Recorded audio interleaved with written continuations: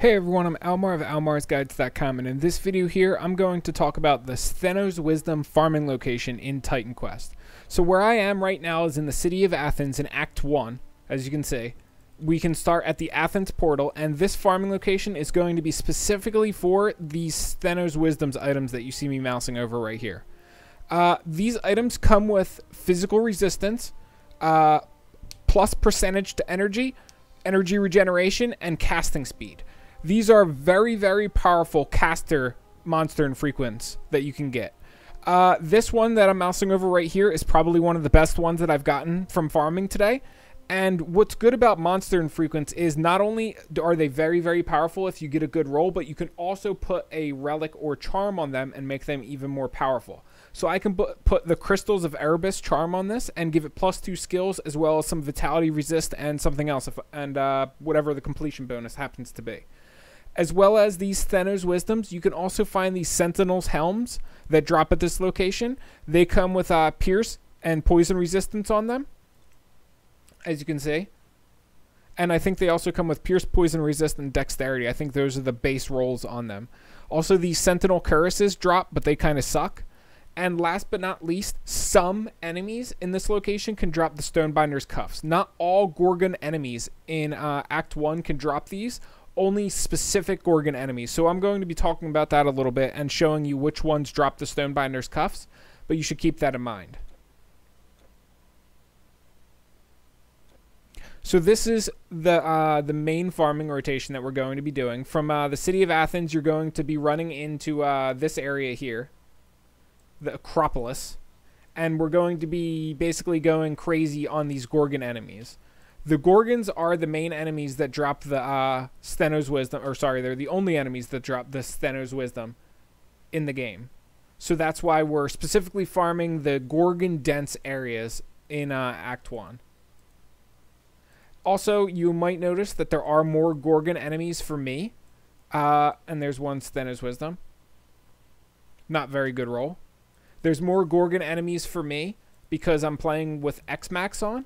It is a mod for Titan Quest, which makes uh, three times more enemies spawn or four times more enemies, depending on uh, uh, what your settings are with X-Max. And it's just a, uh, it's essentially a mod that makes things easier when it comes to farming. It'll make the game overall harder. However, more enemies equals more chance at loot when it comes to farming. So, I mean, it saves a lot of time when it comes to farming, which is the main main thing that I use it for. There's another Sentinel's Cuirass. As you can see, another not very good roll. Most of the monster infrequents you get are going to be garbage, as per usual, in these sorts of games, whenever you're farming a chase item.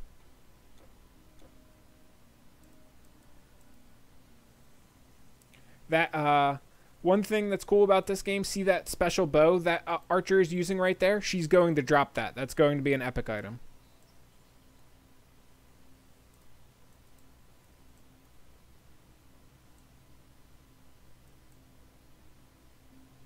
It's always cool in games like that when you can see the monster using the weapon that they drop.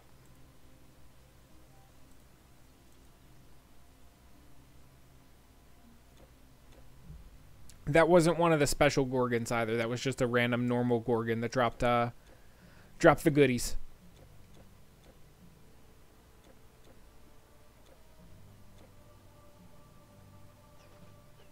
First floor of uh this dungeon usually has more undead than Gorgons.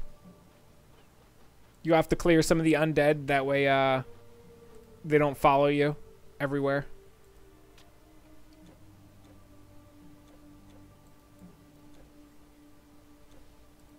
I'm just doing a once over real fast, checking for uh, Gorgons. I can't remember where they all are. Or I should say, uh, sometimes they spawn in different rooms, I think. It's either that or I really can't remember where they all are. I think sometimes on the first floor, though, they spawn in uh, different rooms than the undead. Now, the second floor is usually all Gorgons. Come on. Let's go through. This game's so annoying when it comes to uh, trends transferring between floors.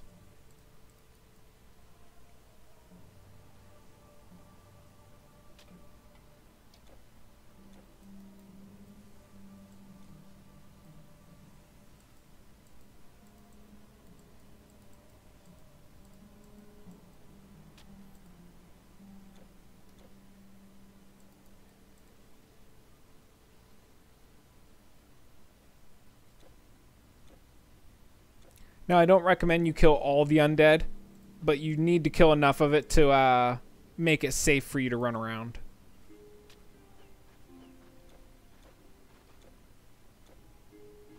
As you can see, we missed some Gorgons over there. That was my... Dumb on my part. And uh, anybody who's familiar with farming Gorgons that's watching this video will notice that there's not been many uh, of the unique ones that drop Stonebinder's cuffs in this area yet. There we go. There's the first one. See that red Gorgon right there in the middle? It, when you mouse over it, it says Gorgon Geomancer. That's one of the uh, unique Gorgon enemies that will drop Stonebinder's cuffs. There's uh, a green version of this called a uh, Profane, I think. And then you have the red version, which is uh, the Geomancer. Also, Gorgon hero enemies and Gorgon bosses both fall into the same category that uh, they have a chance of dropping Stonebinder's cuffs. The regular Gorgon enemies do not drop Stonebinder's cuffs. And the named Gorgon enemies have a very low chance of dropping Stonebinder's cuffs. So over overall, it's a very, very annoying item to farm. I think this is the last level with Gorgons on it. The last two levels are all undead. So after we finish this floor, we'll uh, we'll portal out and we'll go to the Gorgon bosses. Uh, if you're just farming for Stheno's Wisdom and you don't care about Stonebinder's Cuffs, then you'll basically just want to reset at this point and uh, do your farming ro rotation over again. Um, however, if you don't mind doing a Stonebinder's Cuffs run, then I would totally recommend you uh, portal over to Parnassus after we're done here and do a uh, run through there, which is what I'm going to show you.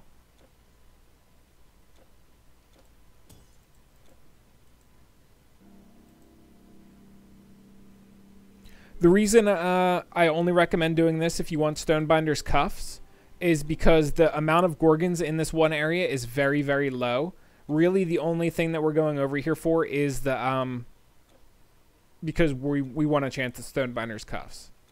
If you're just farming Stheno's Wisdom, then it would kind of be a waste of time to go over here.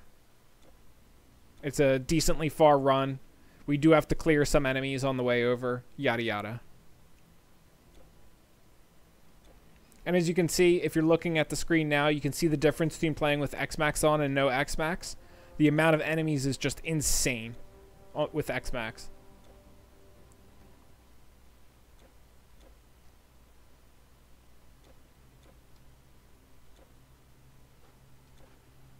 You do kind of have to kill as you go here uh, when you have X-Max on because you'll end up trailing with too many enemies behind you and it'll become a... Uh, a bit of an issue.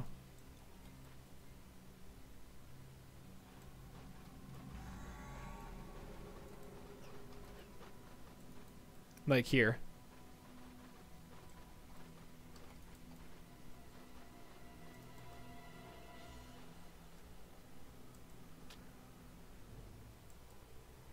That took enough of them out so they won't follow me up to here. So here is the Gorgon bosses. Again, you'll notice that because I have X-Max on, there's a whole bunch of them.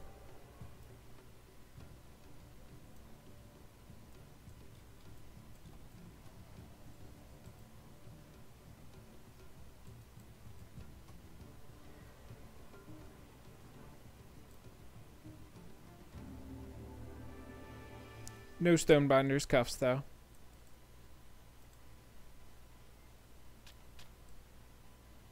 Hmm. Don't think I've ever gotten that item before.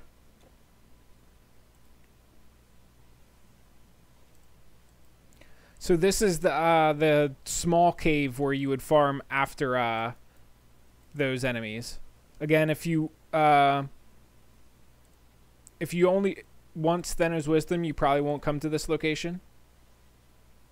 And usually, if you only want Stonebinder's Cuffs, you don't farm the uh, the cave after this, or you can, but there's a decent... Nope. I was wrong. That's not a decent Stheno's Wisdom.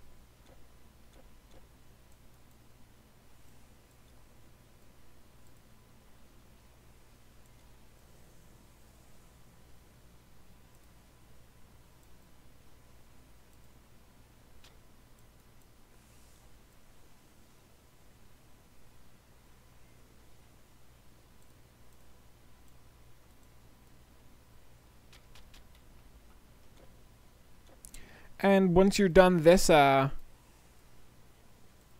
this run, you would just basically log out and reset and then log back in and run it again.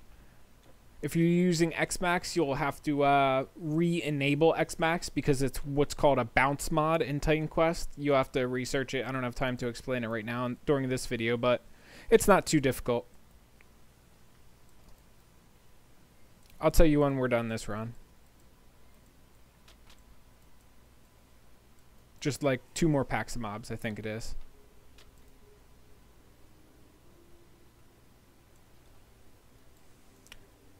no profaners in this cave. All of those unique geomancers. So I wasn't able to show you any of the other enemies that drop uh, the item we want. And that's it. So I don't recommend you farm Minoan Labyrinth, which is another popular location for uh, these items and for Gorgon enemies in Act 1. And the reason I don't recommend you farm Minoan Labyrinth is because Gorgons don't always have a 100% chance of uh, spawning there. And in order to make them spawn there, you have to change your game seed. And in order to change your game seed, you have to log out of the game completely and then log back in. And the reason I don't like this is because uh, with bounce mods and using Xmax and stuff like that, you crash a lot. And it's just very, very tedious to keep logging all the way out of the game until Xmax works, and it's it's a mess. So I'd I'd recommend you just use Xmax instead of, of that method and farm someplace else. But that's all there is to it. Hopefully you guys learned a lot in this video. Hopefully it helped you guys out. And if you guys if I forgot anything, leave a comment below. Let me know. And leave me a like slash subscribe to me if, for more Titan Quest videos if you did enjoy this video. Aside from that, I will catch you guys around in future Titan Quest guides. Peace.